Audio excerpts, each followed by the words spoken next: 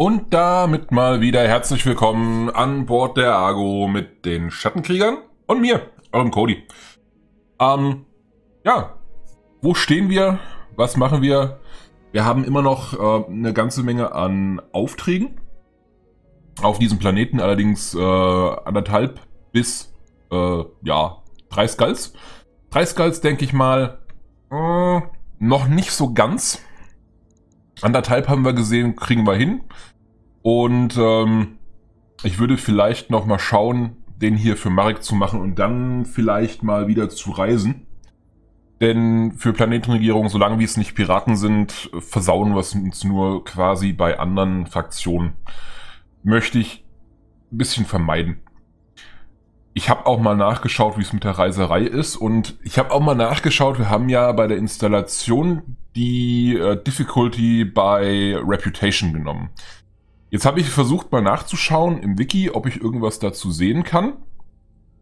Wie, wie das jetzt sich ganz hundertprozentig genau aufbaut, diese äh, Per Reputation.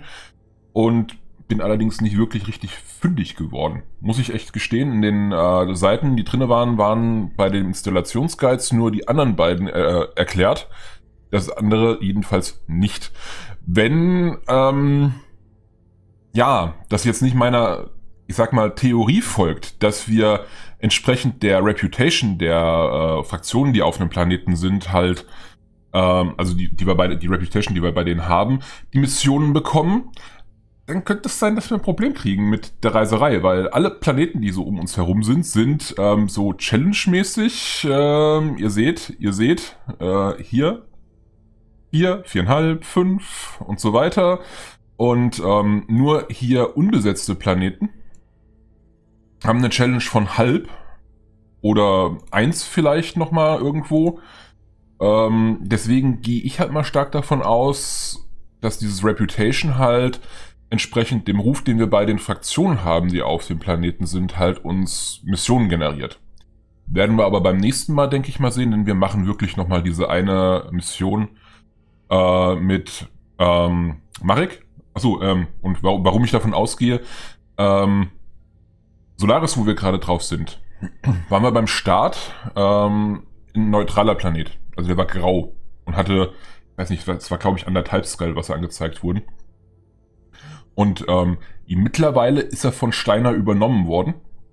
Also gehört zum Steiner-Bereich, wurde ähm, viel von Spielern und so weiter halt zur, ähm, zur Fraktion von Steiner halt beigetragen. Und dementsprechend ist er jetzt Steiner. Und wie ihr seht, viereinhalb. Und wir haben immer noch unsere Missionen, die uns zu Beginn halt generiert wurden. Das ist das, was die zweite Befürchtung sein könnte, ist halt, dass die Missionen, die generiert wurden, wie wir angekommen sind, halt immer noch zählen. Wenn wir auf einen anderen Planeten kommen, der hat einen Vierer-Challenge, dass dann vielleicht Missionen in dem Bereich halt generiert werden. Das hoffe ich mal nicht. Ansonsten haben wir echt ein minimales Problem. Ähm, Ansonsten würde ich einfach sagen, wir moppen ab, aber erstmal müssen wir unsere Max wieder in Schuss bringen. Es dauert ein paar Tage und dafür müssen wir auch einmal bezahlen. Wir bleiben mal auf der normalen Bezahlstufe. So, Refit Harness ist complete. Sehr schön. Gab, glaube ich, noch was im Tech-Bereich, was nicht ganz so teuer war, ne? Genau, 200.000 für die Repair Scaffolding. Schnappen wir uns die mal. Jeder Tech-Punkt zählt. Je schneller wir in, äh, je schneller wir in eine Mission reinkommen, umso schneller bekommen wir wieder Geld. Ja, logisch. Logisch. Jetzt müssten wir eigentlich unsere vier Standard-Max da haben, ne? Genau. Dann können wir wieder eine Mission spielen. Dann moppen wir mal ab. Ein Battle für Haus Marek. Und gegen Comstar. Okay. Äh, ja, na klar. Wir holen uns wieder unseren geliebten Loot. Und wir deployen mit unserer Chaos-Truppe. Ja, ich weiß. Okay, nach einem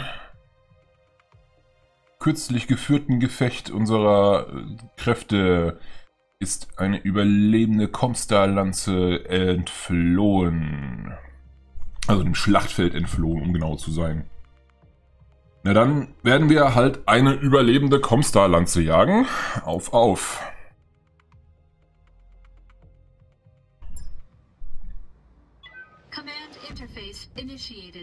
So.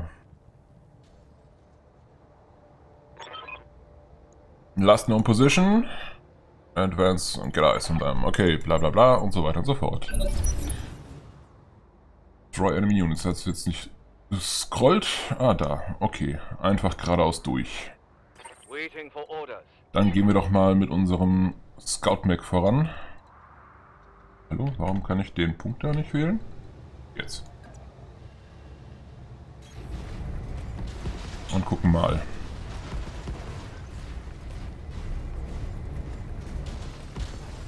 Ah, der ganze Sachschaden wieder. Äh, zum Glück sind es nicht unsere Autos. Wir haben etwas gefunden. Was ist denn das? Ein Whitworth mit dem Modell eines Kommandos. Okay. Es sind schon echt viele Modelle in dem Asset Pack mit drin, aber alle Max ist einfach echt schwierig, denke ich mal, weil es gibt kein Spiel, keine Quelle, wo man wirklich 3D-Modelle rausziehen kann von allen Macs. Und äh, ich denke mal, viele von den Modellen werden sie sich zum Beispiel aus Quellen wie MacWarrior Online oder so gezogen haben und umgearbeitet. Anders kann ich es mir nicht vorstellen, äh, weil das ist echt arsch viel Arbeit. Und kriegen wir schon mal einen Target Acquired hin. Jawohl, sogar der Nark hat getroffen, anscheinend auch. Sehr, sehr genial. Dann ziehen wir mal unseren Falcon hinterher. Und frei auf die Straße. Und so, dass Stray-Shots auf unsere Max möglich sind. Hust. Oh. Das hätten wir jetzt gerade erst auf. Wir müssen definitiv aus dem Bereich hier weg. Wenn das Ding hier versehentlich hochgeht. Ich hoffe, die KI äh, nutzt die Dinger nicht äh, offiziell irgendwie. Dass sie sagen, ey, guck mal da. Feind in der Nähe von so einem Teil. Schießt du doch auf das Teil. Hm. Ich hoffe nicht. dass sie da irgendwie was dran getweakt haben. Die Vanilla-KI macht es nur durch, durch, durch Stray-Shots. Zufällig halt. Oh, eine weit geschossene PPK. Und das sah so aus, als kämen sie von oben. Also das, der Mac wahrscheinlich irgendwo hier oben. Ah, okay, ja. Er steht da oben. Ein Clint, hat das Modell vom Panther. Okay.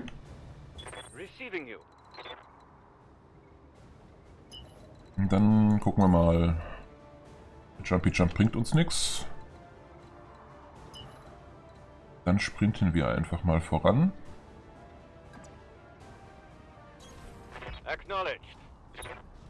So. Schimpft sich das Teil ja eigentlich. Ein elektrischer Transformator, okay.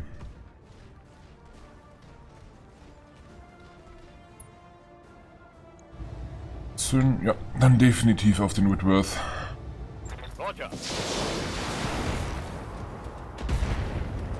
Das sah nach komplett vorbeigeschossen aus. Okay. Hier möchte ich definitiv nicht Anwohner sein. Gut, wer springt auf das nächste Dach? Hm. Gebäudedemolierzeit? Hm.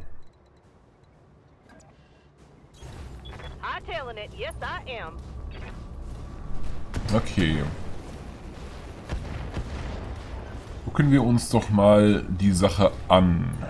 Die beiden stehen auf Dächern. Von Gebäuden, die gerade mal 100 Schaden haben. Das ist auch schon beschädigt worden. Wir können 20, 40, 60, 100, 120, 135. Der Small Laser wird allerdings außer Reichweite sein. Ähm, was haben wir denn für eine schöne Trefferchance? Keine. Okay. Hallo Gebäude. Ciao Gebäude. Wie kann man an einem so großen Gebäude so derart vorbeiballern? Ah, Halleluja. Dann muss das halt jemand anders tun.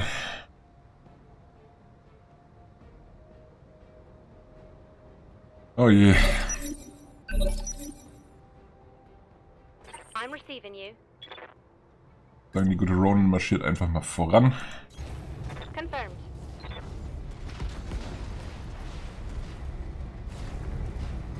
Und guckt mal, ob sie den Rest von dem Gebäude niedergemacht bekommt. Irgendwo ein Stück Streben. Taking the shot. Jawohl. Komm runter. Dann steht er zwar geschützt, aber er kriegt jetzt erstmal ordentlich Beinschaden. Und das ist bei so kleinen Max definitiv nichts Verkehrtes. Okay. Achso, und außerdem ist er halt über sein Threshold, über seinen Stability Threshold drüber und deswegen hat er keine Ausweichladungen mehr. Raven hinterher. Der Panther hat das einzig Sinnvolle gemacht, nachdem er gesehen hat, wie sein Kollege gefallen ist und ist vom Gebäude runtergesprungen. Gar nicht mal so dumm. Gar nicht mal so dumm. Copy that.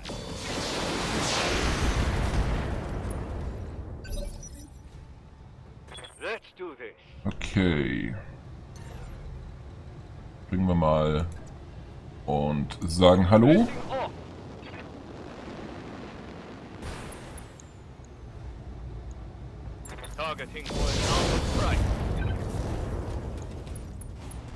Knockdown.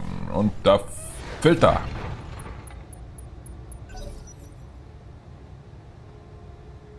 Gut.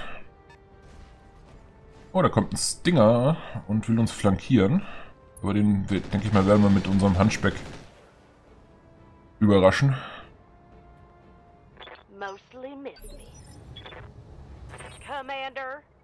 Wobei halt auch der Whitworth ein gutes Ziel jetzt wäre. Aber ich möchte nicht, dass der uns in den Rücken läuft. Das muss nicht sein.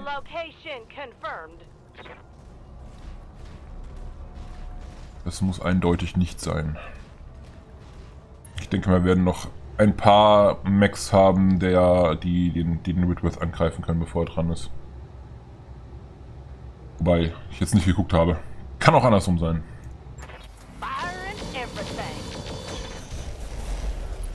Ist das Originalmodell oder ist das ein runtergeskilltes Phoenix Hawk Modell? Oh. Nee, der Whitworth war auf 1. okay. War der letzte im Zug. Ah, scheint nur aufgestanden zu... Ah gut, er springt auch ein bisschen. Wobei ich den Sprung jetzt nicht ganz so intelligent fand, aber... Hm, keine Ahnung, ob es vielleicht nicht anders ging. Ich weiß es nicht. Ah, okay, er hat seine LRMs auf ähm, Nahkampf gestellt und damit seinen, seinen Werfer ähm, beschädigt. Yeah. Da gibt es so eine Einstellung, ich komme gerade nicht, Hotloaded heißt es, glaube ich. Dann kriegen sie ein bisschen mehr Trefferchance und ich glaube auch Schaden. Auf jeden Fall, ich meine Trefferchance in, in, in näherem Bereich mit dazu. Und das kann schon ganz praktisch sein. Ähm, hat halt nur die Chance, wie gesagt, den, den Werfer selbst zu, besch zu beschädigen.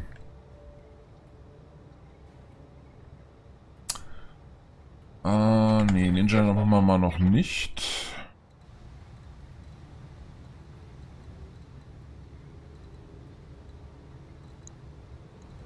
Standing by.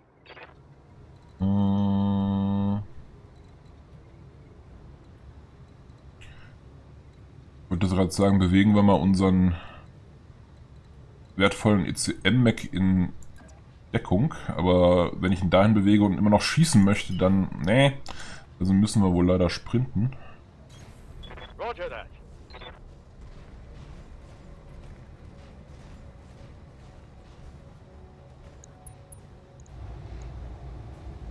Und dann rauf auf den Rücken. Locked on.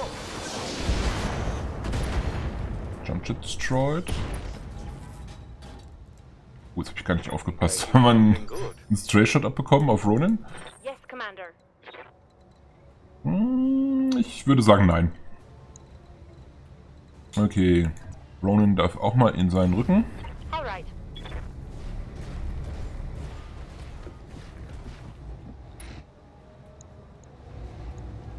I.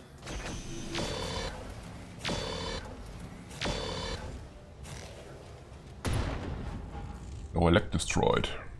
Critical hit, Commander. Okay.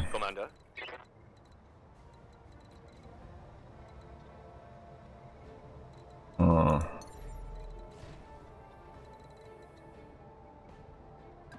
Jo. Jo, ich würde sagen jo. Nochmal einen Rückenschuss auf den Whitworth, dann ich denke mal, dann dürften wir jetzt aber klein kriegen.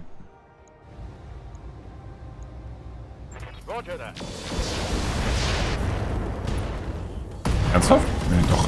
Äh, dachte schon.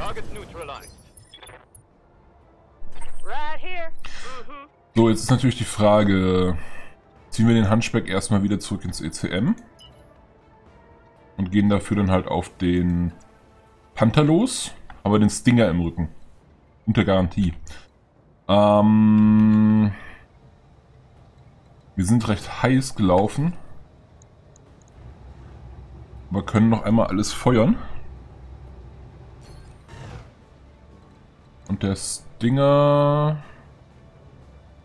Oh. Hab bisher hauptsächlich Bein und ein bisschen Frontschaden. Aber Rückenpanzerung wird auf dem nicht sonderlich hoch sein. Kann ich mir nicht vorstellen. Von daher würde ich sagen, versuchen wir nochmal so eine Rückenattacke. Don't think. Don't shoot. Just run. So. Auch ganz gute Trefferchance dabei. Eben hat er mir dann noch keinen...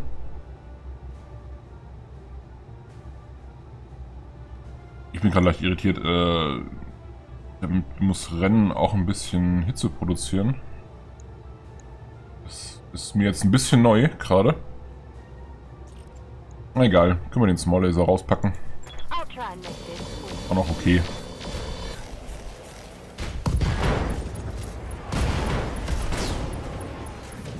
Jawohl. Ah, so ein klein, kleiner 20-Tonner ist halt, ich sag mal, schnell klein zu kriegen. Die brauchen viel, viel Ausweichen, um überlebensfähig zu sein.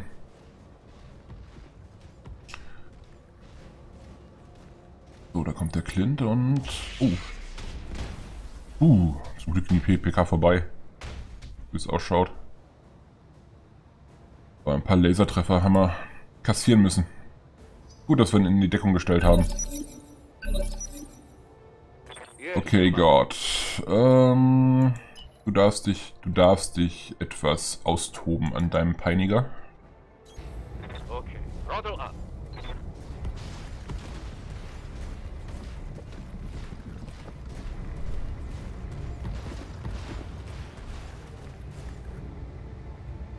Wenn auch nicht mit allzu vielen Waffensystemen. Die sind etwa gleich. Äh,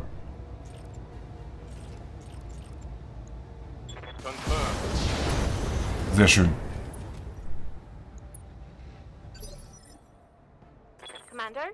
So. Nehmen wir ihn mal an die Zange.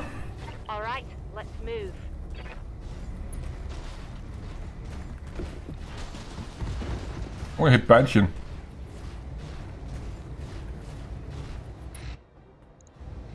Interessant, diese kleinen Glitches durch die Modelle und die Umgebung. So, okay. Jetzt? Komm schon einmal wenigstens. Ah. Zurück in den Simulator mit dir.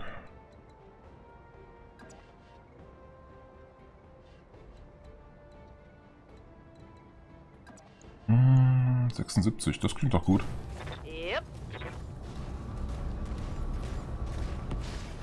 meine, passt sich sowieso immer noch mal so ein kleines bisschen an, sobald sie ihre tatsächlichen Positionen sind. Aber der war jetzt ziemlich genau. Noch einen Laser ausschalten und dann können wir loslegen. Und ihm seine Hauptbewaffnung klauen.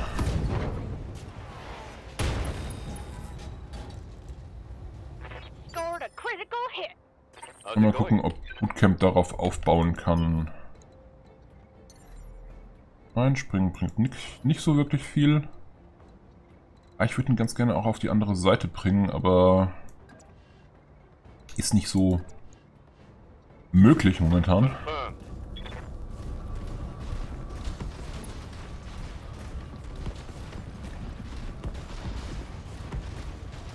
Okay.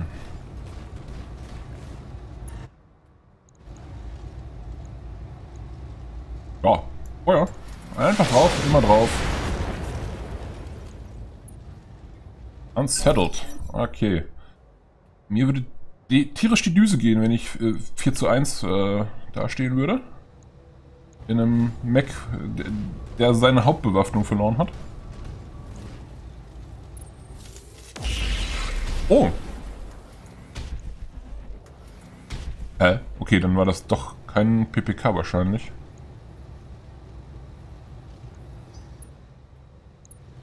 Normal ist die... Der linke Arm war ja aus so einem, so einem äh, Kanonenlaufmäßigen. Das ist normalerweise, wenn ich mich jetzt nicht total täusche, die PPK-Seite, aber das scheint beim Clint anders zu sein. Und es könnte auch eine Plasmalanze statt einer PPK sein. Auch möglich. Äh, Moment, er hat linke Seite kaputt, rechte Seite offen, Center offen. Dann, gehen wir doch eher mal so ein bisschen frontal auf ihn drauf. Heading out.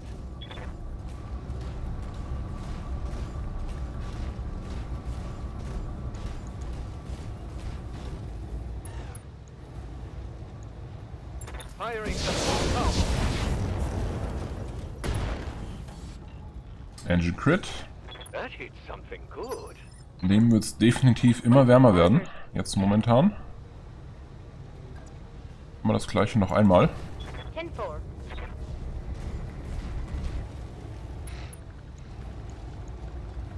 Roger that. Target confirmed. Da ist die Engine down. Und das war's. Nicht besonders aufregend.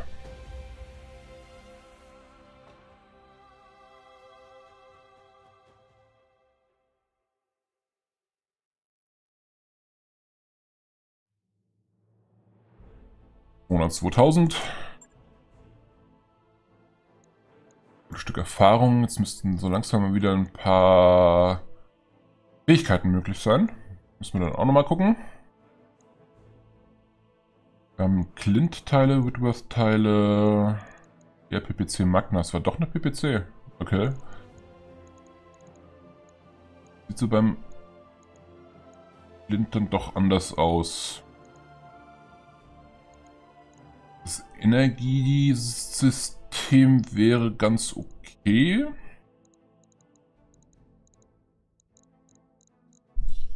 Aber ich bin irgendwie immer noch so ein bisschen mehr auf Max aus. Und wir können den Clint fertig bauen, wenn wir ihn nehmen. Deswegen machen wir das auch. Gucken, was wir sonst noch kriegen. Die PPC, sehr schön. Das finde ich gut.